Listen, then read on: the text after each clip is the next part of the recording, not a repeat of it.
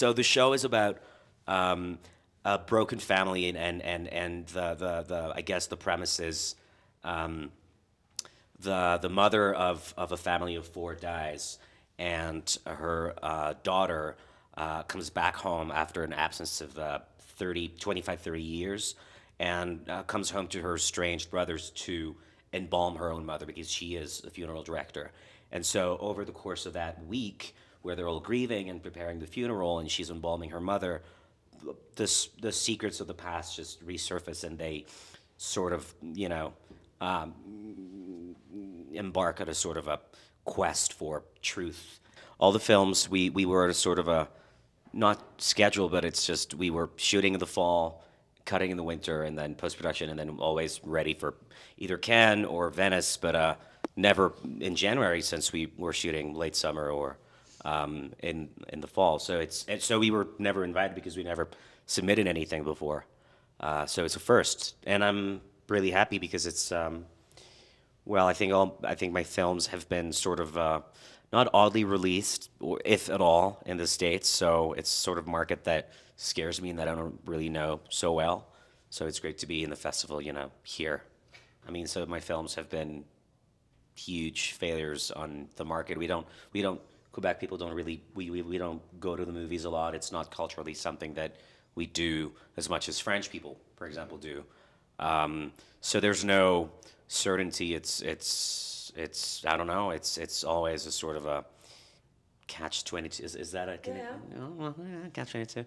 But uh, it's just I I don't know. It's it's no. I think the world is changing, and I did this show because, in a way, I it was the pandemic, and I was writing this, and um, it sort of benefited me in the way that I, I, I, you know, I was alone with myself, and I could reiterate a lot of things about how I approach this business and this work and my profession and, and art and, and, and my life in general. And it's just the, the, the realization was that I don't want to spend two years of my life making a film that no one will see and that won't be bought here in the States. So I thought, you know, we were all at home and we were isolated and, and, and I think we all turned towards streamers and that sort of content because we were just looking to be entertained and not, you know, feel the, the it was just it was scary when it when it happened. I'm I'm still talking about it because I don't think it's over, but it's been what three years now. But when it first when it started, it was just really a lot of unknown. You know, it was it was all new, and I was we were all turning to content and and and and TV shows, and I had seen the show in the summer of 2019.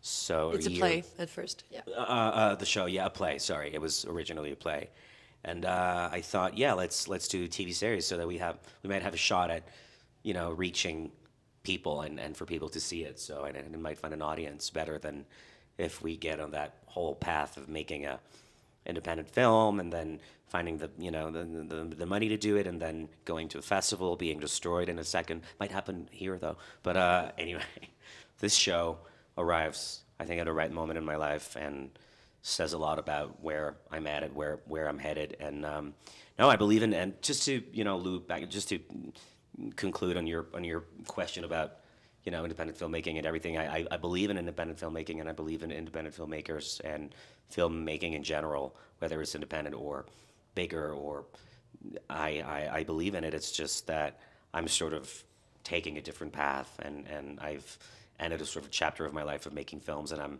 I'm starting to develop new interests and I want to explore new horizons is all.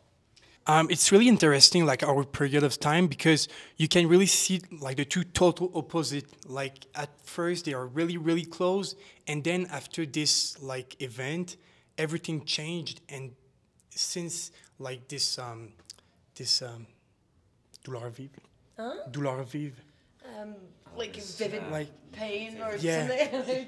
Trauma. since like this Trauma. tragedy Yeah, happened Trauma. Like Trauma. recently, Vivid pain is beautiful though. yeah, yeah. vivid pain. It will be the title They are of my broken. memoir. Vivid pain. and then so it, it was really interesting to. And it's, it's it's very interesting to see like what happens to these characters, how a secret that can seem so, you know, um, banal or anecdotic can actually completely change the course of of a whole family's life and even affect those who didn't go through that period, like the character that uh, Xavier plays in um, in the show. So it's it's really about um, the problem, like communicational problems.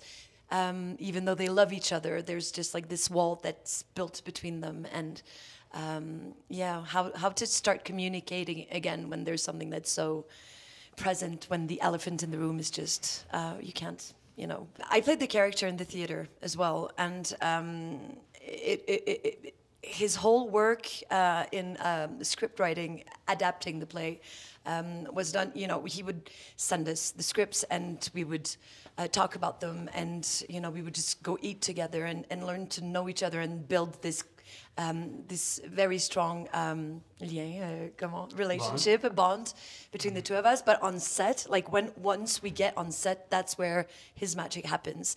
He's, you know, he he's a captain. He makes everybody like in all the departments feel like they are so important and he knows the cinematic language in such an amazing way i've never worked with a director who understands how all these elements coexist.